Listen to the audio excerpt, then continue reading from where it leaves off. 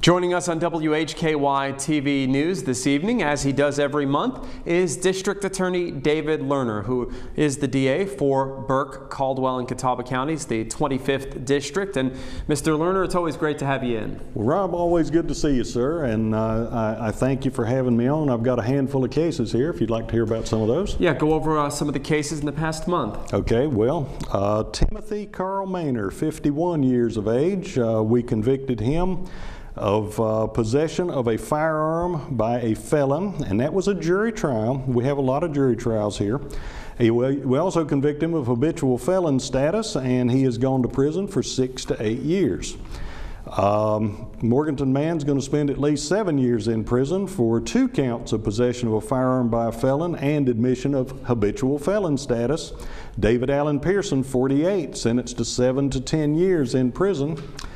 Um, we had a self-defense shooting recently up in Caldwell County where um, a man has been cleared of any wrongdoing in that uh, particular instance. He, he had to act to defend his life, and he did. And um, the individual that got killed was involved in drugs, had drugs in them, was, um, you know, had a propensity for violence, and just ended up um, he, he finally got shot. And in these cases, an investigation, a thorough investigation, yes. is done after the yes. shooting by officers and by the DA's office. That's correct. That's correct. And after all that, we uh, cleared this individual, returned his gun to him.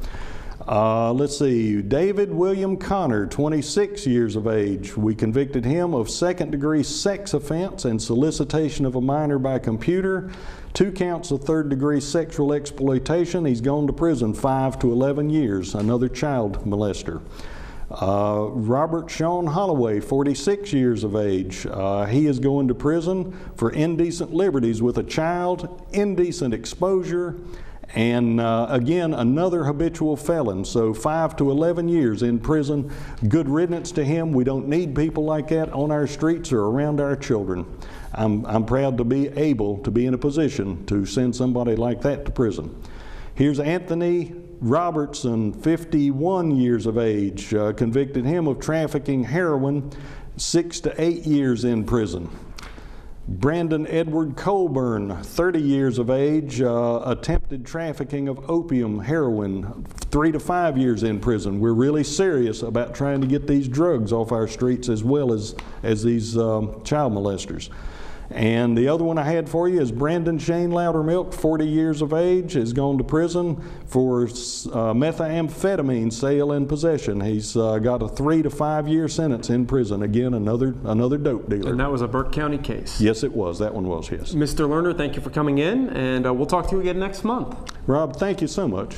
David Learner, the district attorney, going over some cases from the past month. And now back to you, Ralph, here on WHKY TV News.